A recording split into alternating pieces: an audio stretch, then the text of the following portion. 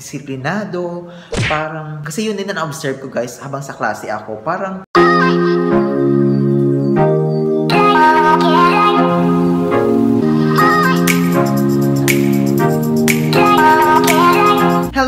guys! Welcome back again to another video. So for this video guys, since nastakap ako sa Pilipinas at malapit na din ako bumalik ng Thailand, actually guys, namimiss ko na yung Thailand, yung mga students ko, especially yung mga friends, Thai friends ko din, sa mga street foods ng Thailand at makapag-usap in Thai. Miss ko talaga guys. July 1, nakapag-open na sila ng classes nila doon. And yun na guys, excited ako na mag magbalik doon since nastakap pa rin ako sa Pilipinas at magre-react tayo ng New Normal Thailand School. Thailand School New Normal. So, titignan natin kung paano nga ba mag-start yung classes, yung classes nila doon is because, yes nga, zero case na sila doon, wala nang case sa Thailand, and mag-react tayo sa kanilang new normal na video. So, from, from TR World. So, let's watch kung paano nga ba paano nga ba mag-open ng class yung schools nila doon sa Thailand. So, if you're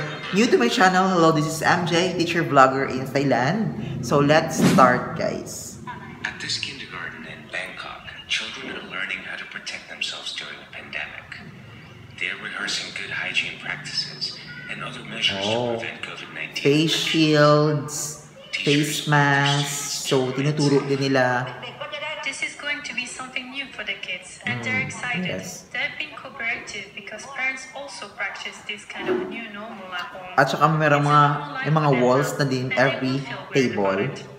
Social distancing will be practiced here. Ang, actually guys, gusto ko yung parang ah, classes, paano mag- mag ano yung mga bata. I mean, paano maging I think the disease is scary. Personally, I teach my child constantly to be aware of the hygiene of the utensils he's using outside and at home. I tell him to wash his hands and keep his mask on when he's outside. When he goes to school, I will prepare him with alcohol gel and a mask. Schools have been closed since So, very ano talaga, masunurin sila at very magalang sa teacher nila. At yun na guys, napapansin ko kasi nag, nandun, nakapagturo na din ako for two years.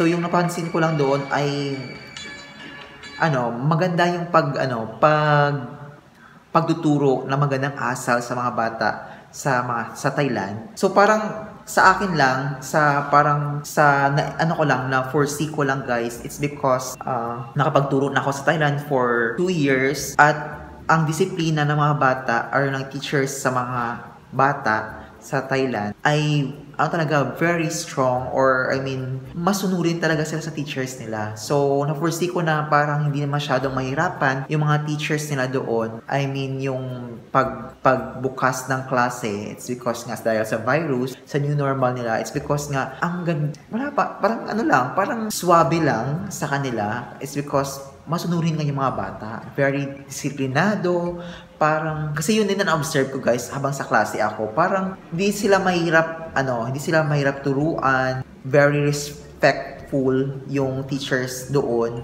at saka second sa monks nila. I mean, yun, yung monks ay pinakamataas nila aside sa God nila. Yung monks, teachers, level lang yan sa parang king nila and queen. So, I, I, correct me if I'm wrong guys ha, if level lang sila. Pero yun nga guys, and yun na guys, very short lang yung ating ano no, yung ating reaction video sa Thailand School New Normal nila. So, yun na guys, if you have any suggestions for my next vlog, just comment down below and thank you so much for watching. Bye-bye!